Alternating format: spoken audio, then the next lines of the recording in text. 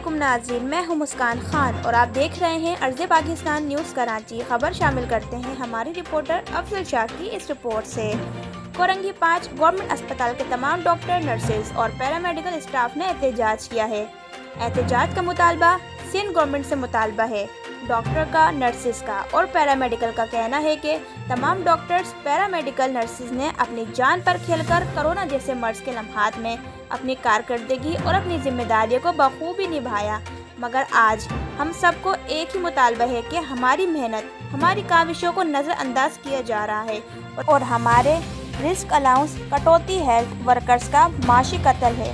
Health risk allowance फिलफोर बहाल किया जाए। मजीद खबरों और अपडेट्स के लिए देखते रहिए अर्ज़ पाकिस्तान न्यूज़ कराची। शेयर करना चाहता हूँ कि फ़र्ज़ कायम रब्त मिल्लत से है, तनहा कुछ नहीं। फ़र्ज़ कायम रब्त मिल्लत से है, तनहा कुछ नहीं। मौज है दरिया में और बैरून दरिया कुछ नहीं। हयात लेकर चलो, कायनात लेकर चलो।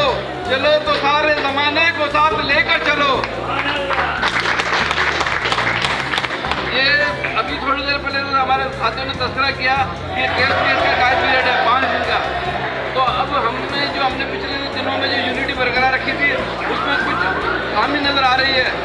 गुजारा, मैं ये कहता हूँ कि मंदिर पर पहुँच कर सुस्त रवि हमें मिल नहीं जाता ये एहतजाज सिंध भर में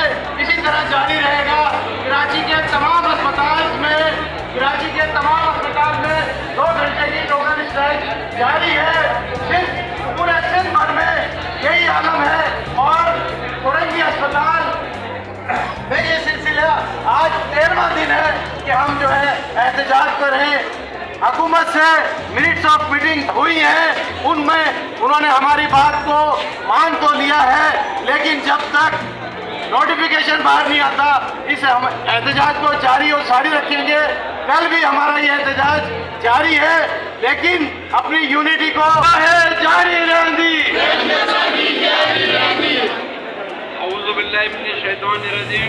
उनका जो काम था कि भाई हमें थोड़ा डिस्पर्स करना तो मुझे ऐसा लग रहा है कि वो अपने काम में कामयाब हो रहे हैं, क्योंकि हम जो पहले आ रहे थे, जो हमारी पहली यूनिटी थी पैरामेडिकल नर्सिंग डॉक्टर सारे, वो सब, वो यहाँ पे आ रहे थे और एक स्ट्रॉन्ग मैसेज आ रहा था, जिसकी वजह से सिंध गवर्नमेंट ने हमारे मुतालबात पूरे करने की हमें नीचे आगे दी मगर उन्होंने एक केस केस भी रखा कि भाई ये